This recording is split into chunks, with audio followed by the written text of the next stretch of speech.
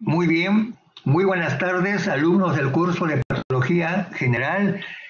Eh, en primer lugar, hemos tenido un pequeño desperfecto para iniciar eh, con el equipo, pero ya estamos en comunicación con ustedes. Eh, ¿Me están escuchando? ¿Me están escuchando? Sí, doctor. muy bien, muy bien. Entonces, primero, disculpas por haberme demorado en el comienzo de esta clase, pero como es esta clase inaugural, vamos a decir algunos conceptos que ya ustedes van a ir durante el curso aprendiendo mucho más las tecnologías que empleamos, etc. Como ustedes ya están ya dentro del curso de anatomía patológica, vamos a decir de dónde viene esa palabra patología como si han estudiado ya en los otros cursos, anatomía, histología, bioquímica, hay que decir qué cosa viene a ser, qué es la patología. Entonces la patología hablan, eh, tiene, se deriva de dos eh, terminaciones griegas. Patos quiere decir sufrimiento. Y logos es el tratado, ¿no es cierto? Muy bien. En realidad, la patología es aquella ciencia que va a estudiar las alteraciones. ¿En qué sentido? Las alteraciones que se producen a nivel de las células, a nivel de los tejidos y de los órganos. ¿Producto de qué? Producto de una contaminación ambiental, puede ser por un parásito, puede ser por un hongo, puede ser por una bacteria, es decir, hay muchos agentes que se llaman estos que originan las enfermedades, se llaman agentes etiológicos. Entonces, ¿cómo vamos a hacer ese estudio de la patología? La patología vamos a tener que estudiar, en primer lugar, los pacientes. Cuando un paciente está enfermo, y aquí viene la diferenciación, cuando se dice que una persona está enferma y cuando se dice que está bien. Entonces hay dos palabras, salud y enfermedad. La salud es el estado de, de buen estar, en, que se refiere en que se encuentra una persona, voy a usar la palabra paciente, es el que se encuentra en buen estado general, que no tiene ninguna manifestaciones clínicas, o sea, quiere decir que no tiene síntomas, síntomas son las manifestaciones subjetivas que tiene el paciente, y signos son las manifestaciones objetivas que uno puede visualizar cuando examina a un enfermo. Muy bien, entonces la enfermedad puede producir pues esto, síntomas y signos. Entonces, por eso que el paciente va a acudir al médico, a que le, produzca la curación de estos síntomas y signos que está percibiendo como consecuencia de la enfermedad. Eso es la enfermedad. Entonces, esa enfermedad hay que se, como le decía inicialmente, deriva de una palabra que es el sufrimiento, es así, el paciente sufre y eso vamos a diagnosticarlo. El que primero vea a un paciente es el médico, el el clínico, que es el que se va a dar cuenta por el interrogatorio que tiene con el enfermo, eh, comienza a hacer una serie de preguntas y poco a poco va haciéndose una idea acerca de la enfermedad. Entonces, una vez que ya él tiene el diagnóstico preliminar de alguna enfermedad, necesita de todas maneras de otros elementos complementarios para el diagnóstico de la enfermedad. Eh, clínica muchas veces puede ser muy sencilla, pero otras veces no es así, que requiere ya de otros exámenes que se llaman exámenes auxiliares de diagnóstico, entre los cuales uno de los principales es la anatomía patológica que hay que ver, los órganos enfermos. Entonces, lo que tenemos que ver en patología son órganos enfermos pero ¿cómo empezamos? Viendo las células, los tejidos, los órganos, desde el punto de vista macroscópico y microscópico. Eh, los órganos que están en estado de normalidad, en una homeostasis normal, cuando sufren alteraciones cambian en cuanto a la fisiología, el funcionamiento, entonces va a haber alteraciones en la fisiología, va a haber alteraciones en una serie de modificaciones químicas, físicas, etcétera, y todo esto ya produce pues una serie de manifestaciones clínicas que el paciente los está sintiendo, pero el que va a hacer el diagnóstico primero, como dije, es el médico internista clínico, Y el patólogo es el que va a hacer el diagnóstico ya correcto, preciso de la enfermedad, cuando el clínico va a solicitar un examen de diagnóstico lógico que se llama biopsia. Entonces aquí viene el término de biopsia. ¿Qué cosa quiere decir biopsia? La biopsia es un procedimiento que emplea el médico que toma la muestra, ya sea por una aguja muy fina, introduce al presunto órgano enfermo y va a succionar y va a extraer una secreción donde están células. Esa es una forma, un, un método de diagnóstico de una biopsia.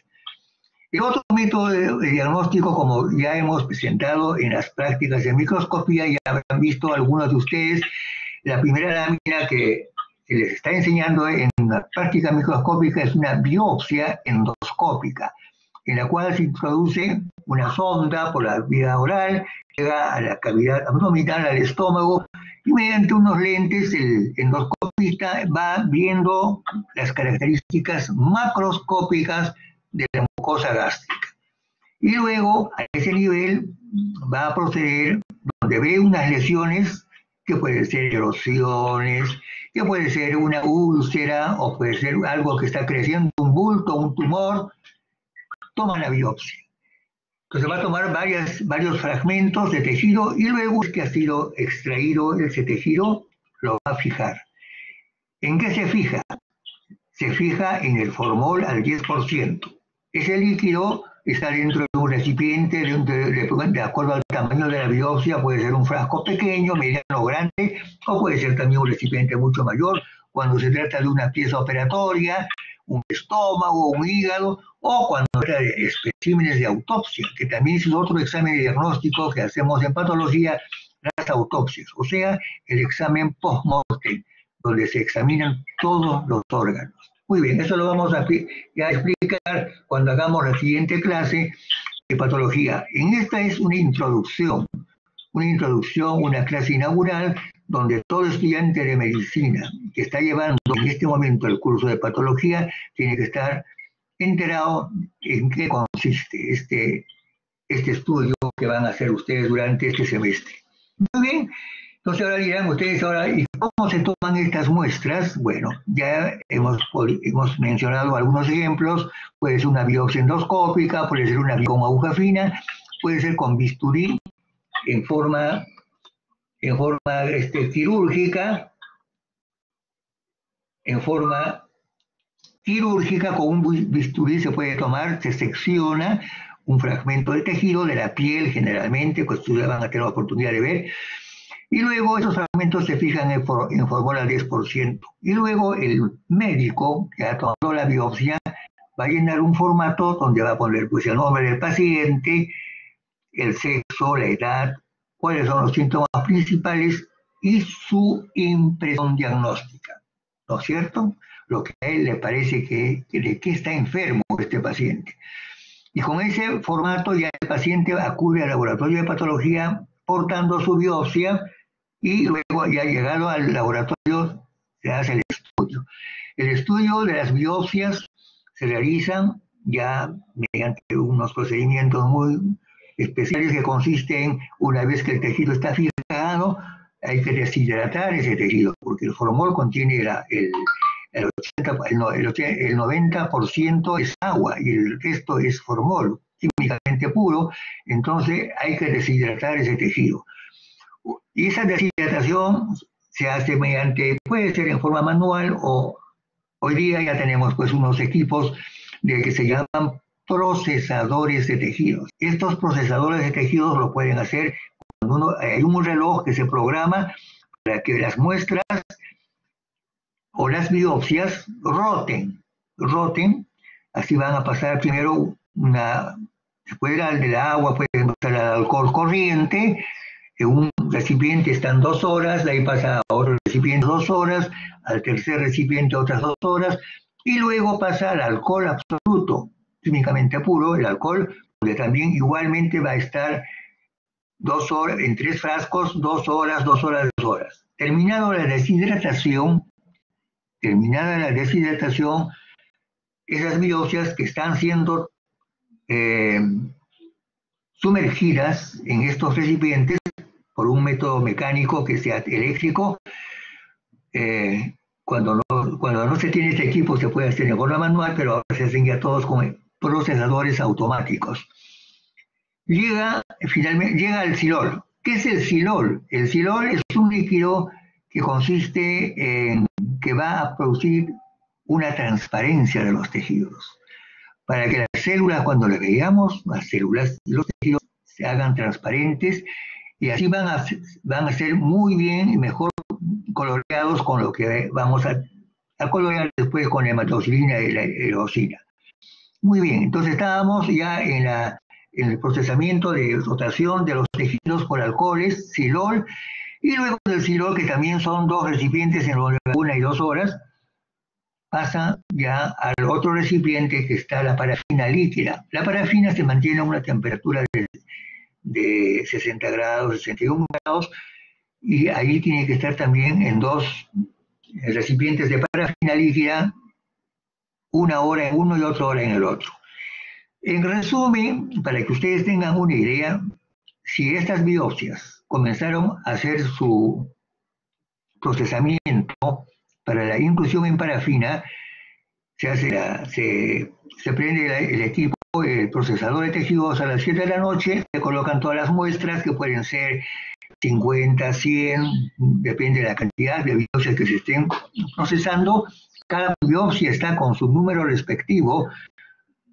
Con tantos pacientes, entonces cada paciente tiene su número registrado y que está graficado y bien, bien determinado en la biopsia. Y una vez que ya eh, tenemos entonces, ya que terminando el proceso de deshidratación, después llegado al silol, pasamos a la parafina líquida, ya estamos en condiciones luego de poder de estos cassettes, son unos cassettes pequeños que se van a, poner a, congelar y luego se va a cortar con el parafina, con el otro que se llama el, el micrótomo de parafina. El micrótomo de parafina lo va a cortar en unas láminas muy adelgazadas, muy finas, y luego se recoge con una pinza y se extiende en un recipiente eh, a una temperatura en un baño María. Una vez bien extendida la lámina, se recoge con la lámina portaobjeto. Luego de estar bien extendida el tejido en la lámina portaobjeto, se vuelve nuevamente ya a la a, refrigerarlo y luego de la refrigeración ya vamos a proceder a la coloración con hematoxilina y eosina. Se han hecho ya los cortes, la parafina, etcétera, y pasamos a la coloración con hematoxilina y eosina. Ya ustedes han visto en histología estas láminas, pero de tejidos normales.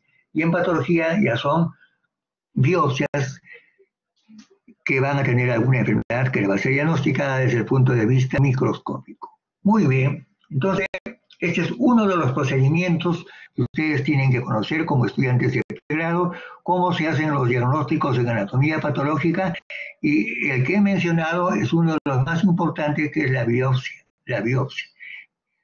Como ya dije, puede ser en tejidos muy pequeños, puede ser en tejidos medianos, también en tejidos grandes o en piezas operatorias que se llaman ya especímenes quirúrgicos.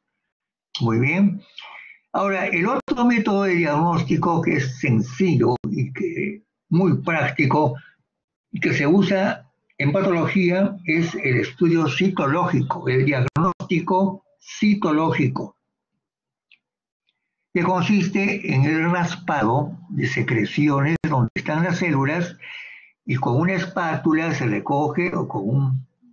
Hay, unos aparatitos especiales para recoger estos tejidos, se extiende en una lámina portaobjeto. Una vez que se ha extendido la secreción en la lámina portaobjeto, esas láminas se fijan ya no en formol, ojo, ya no en formol al 10%, sino en alcohol corriente, alcohol corriente. Ahí pueden estar unos 20 minutos o 30 minutos de fijación y es suficiente y luego se va a proceder a la coloración con el método de diagnóstico citológico que ya ustedes deben haber escuchado en algún momento que se llama Papa Nicolau. Se llama Papa Nicolau porque Papa Nicolau fue un patólogo eh, norteamericano, pero de descendencia griega, estuvo muchísimos años en Estados Unidos y que, eh, bueno, ya falleció y él fue el que introdujo este método de diagnóstico citológico de Papa, de Nicolau, en el cual pues se, recoge esta secreción, se hace el extendido una lámina y se colorea con el método de Papa Nicolau. Muy bien, una vez que se ha coloreado las células, ya están listas para ser observadas al microscopio y poder hacer el diagnóstico. El Papa Nicolau es uno de los métodos diagnósticos rápidos que se está utilizando muchísimo, de hace muchísimos años, para determinar, por ejemplo, qué células vemos al microscopio, si son células normales o son células malignas, inflamatorias, etcétera, que ustedes durante las clases teóricas vamos a ir mencionando y poco a poco van a ir aprendiendo. Como esta es una clase inaugural de eh, para explicar algunos de los conocimientos, ya conforme vayamos avanzando con los, en el curso durante el semestre, van a ir ustedes entendiendo una serie de técnicas que utilizamos, como son las coloraciones específicas, coloraciones especiales, etc. Bueno, además de estos métodos de diagnóstico que son los más comunes, hay otros mucho más eh, otros métodos de diagnóstico, como es, por ejemplo, la microscopía electrónica, que se utiliza sobre todo para hacer la lectura de tejidos, para ver las células microscópicamente, qué alteraciones estaban produciendo en la ultraestructura. Y servía sobre todo para hacer el diagnóstico de una serie de neoplasias malignas. Con el tiempo, ahora tenemos ya otros métodos de diagnóstico pues la inmunistoquímica, que van a tener oportunidad de ver en algún momento, ya sea en clases teóricas, y van a tener también una, sección de clases teóricas sobre inmunopatología. Así es, además tenemos también la inmunofluorescencia y eh, otro de los últimos métodos de diagnóstico que lamentablemente ya no se está realizando como se hacía antes, es la autopsia.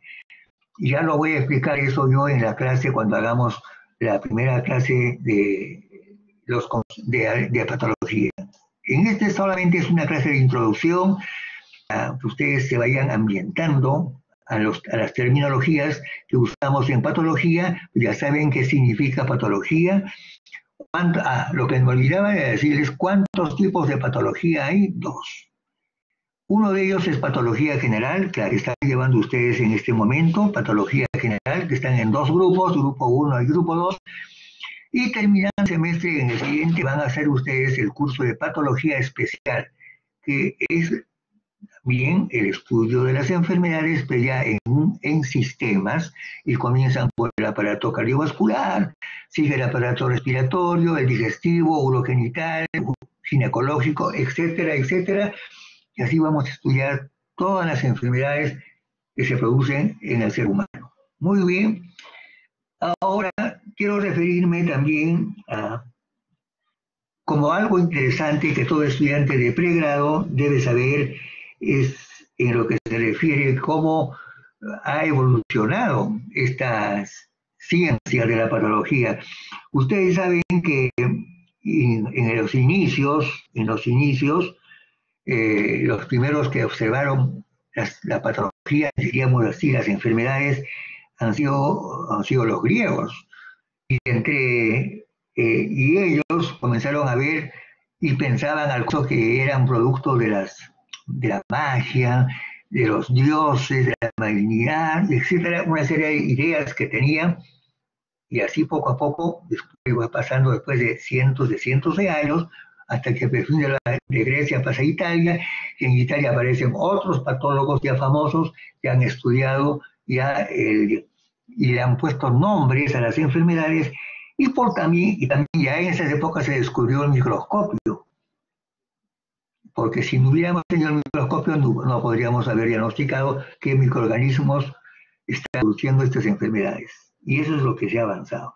Muy bien, eh, todas estas cosas que estoy haciéndolos en forma muy, muy corta, preliminar, también ustedes van a tener la oportunidad de consultar sus libros. Y es otra recomendación. La anatomía patológica tiene una buena biografía que están en el sílabus que ustedes van a encontrar.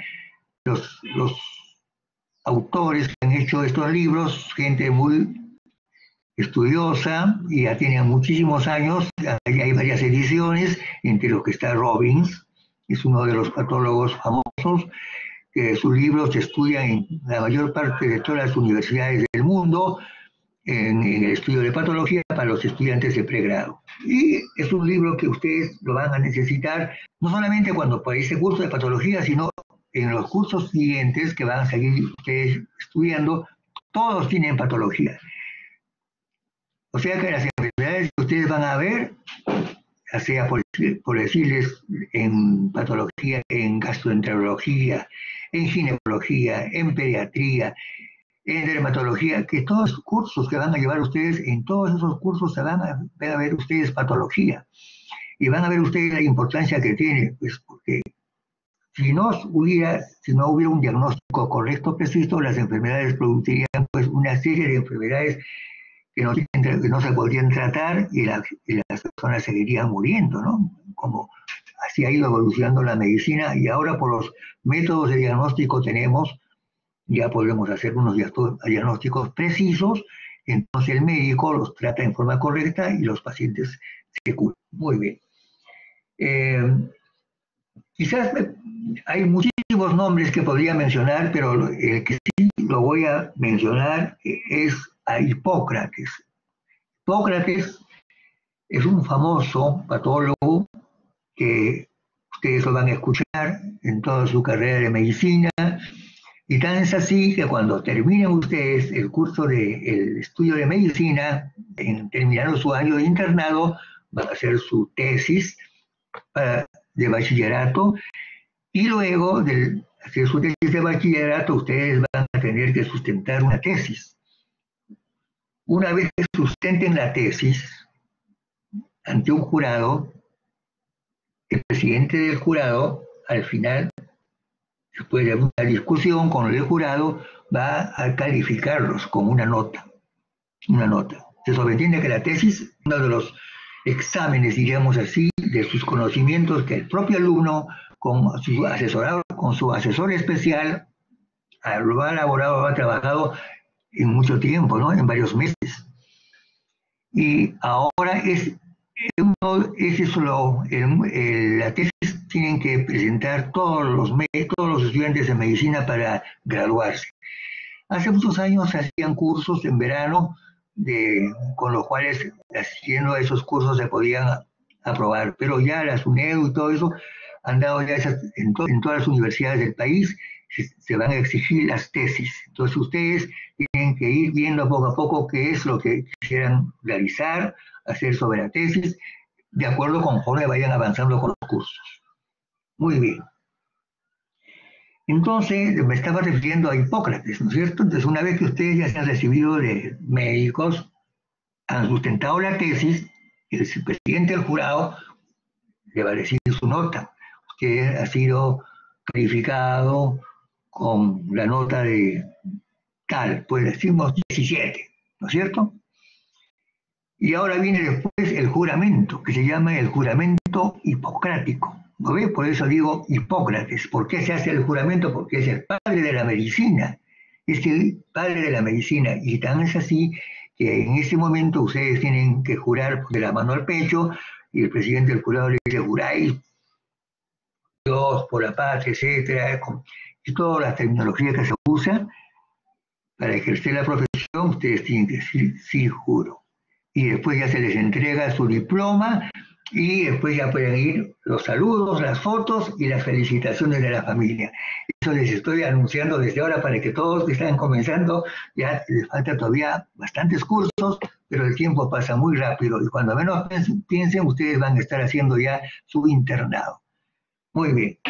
Eh, lamentablemente pues nos ha llegado esta pandemia que estamos todos y tenemos que cuidarnos, porque todavía, a pesar de que parece que ya comenzó a bajar, pero hay que seguir cuidándose, porque estas enfermedades así que son tan endémicas no solamente duran muchos años, y hay que seguir cuidándose.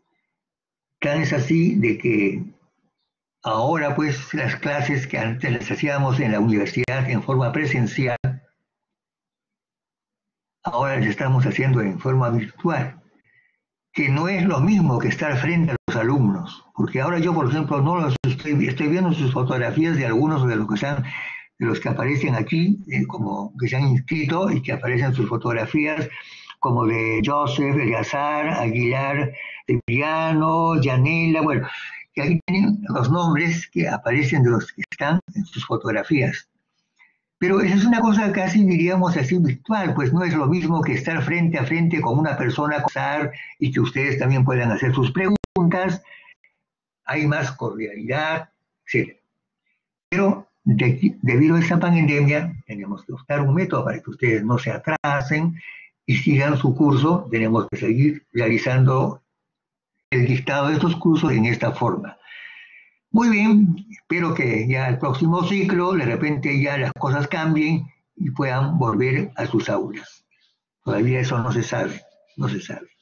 Todo depende de nosotros mismos, que hay que contribuir a que esto desaparezca con el cuidado, usando siempre lavado de manos, a pesar de que ya está bajando la pandemia, lavarse las manos en todo momento, la mascarilla, que es lo mejor que hay hasta ahora, la mascarilla, es lo mejor que hay. Y ya lo han dicho los grandes expertos y que están descritos en, en pandemias que han mucho más antes que esta, como la tuberculosis, años.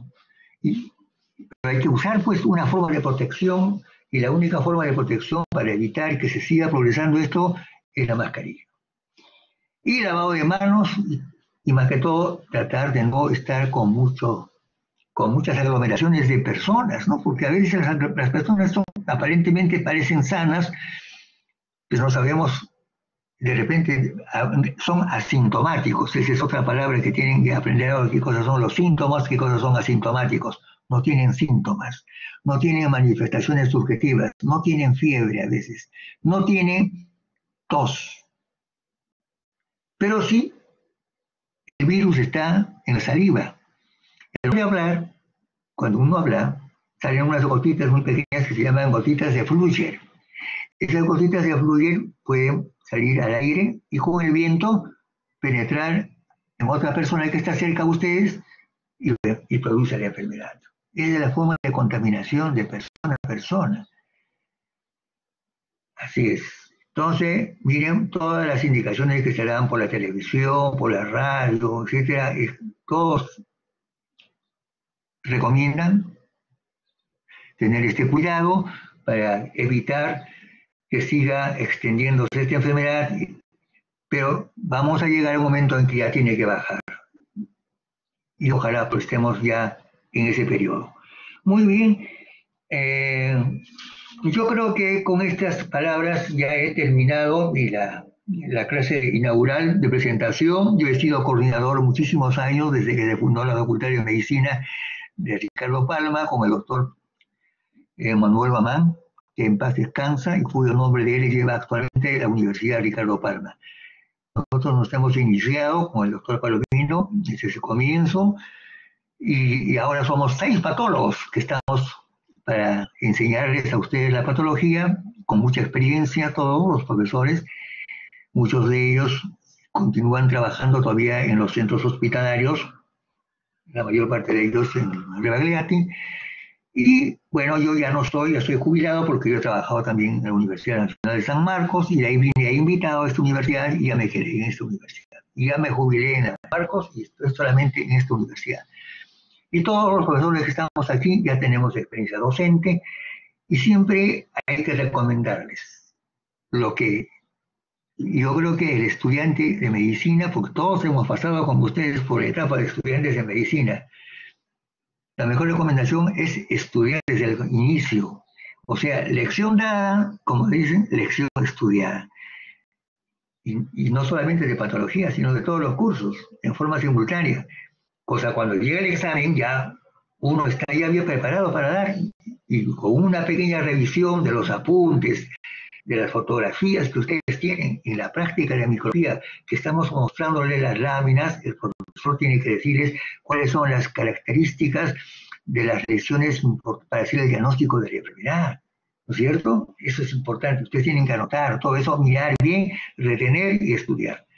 Muy bien, Entonces ya yo voy a tener la oportunidad de seguir viéndolos porque voy a seguir con el capítulo de, eh, después de estas clases que tenemos de generar la parte de introducción, yo voy a hacer el capítulo de inflamación, el capítulo de neoplasias, y así todos los profesores vamos a hacer capítulos respectivos que los van a ir ustedes poco a poco conociendo. Así aprendemos todos y esperamos que todos terminen en forma satisfactoria y brillante. Muy bien, con esto me despido de ustedes, pero como estamos todavía en una clase inaugural, quizás si hay alguna pregunta, antes me olvidé de decir, en ILAUS está todo. Ustedes lo primero que ya deben haber leído, ¿no? El SILAUS, están todas las, el horario de clases, la guía de prácticas, los seminarios, etcétera, etcétera, etcétera. Y las clases teóricas, en lo posible, hay que que sean interactivas. Los alumnos tienen que leer, como tienen que decir la lean de qué tema se va a tratar. Y, tratar de mirar, venir con las ideas preconcebidas, cosa que cuando el profesor explica ya ustedes están entendiendo mucho mejor, e incluso pueden preguntar, participar.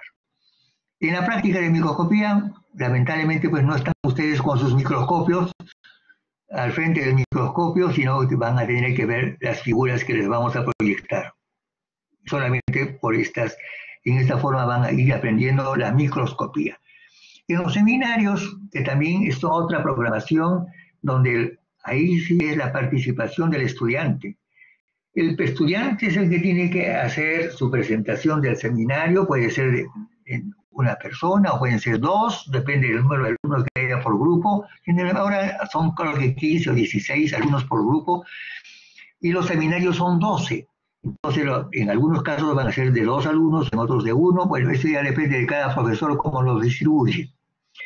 Yo, por ejemplo, ya voy a, ya, ya repartido los, los temas de acuerdo al sílabus para la próxima semana y la próxima semana ya hay dos alumnos que van a hacer su exposición acerca del primer seminario que ya todos ustedes saben y ya deben estar preparándose para la próxima semana.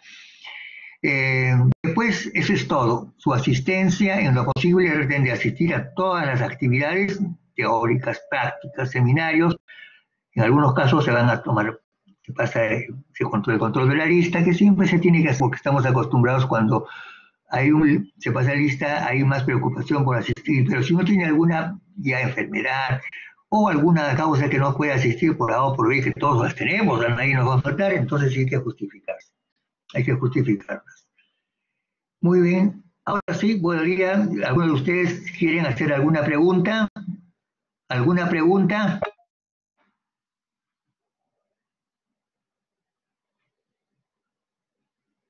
¿Me han escuchado? ¿Se escuchó bien? ¿Se escuchó bien? Sí, doctor, todo muy claro. Muy bien. Entonces, ahora a ver ustedes si quieren hacer algo. Sí. Sí, una pregunta. La fecha exacta del examen, ¿qué día va a ser? Porque nos dice solamente la semana, pero no la, la fecha del teórico. ¿Qué días toman los exámenes teóricos y el de laboratorio también? Ya, la, hora se toma en la hora correspondiente a la, hora señalada en la, clase teórica. Si la clase teórica es como yo, por ejemplo, van a ser en patología general son a los días martes y los días jueves, ¿no es cierto? A las 5, de 5 a 6.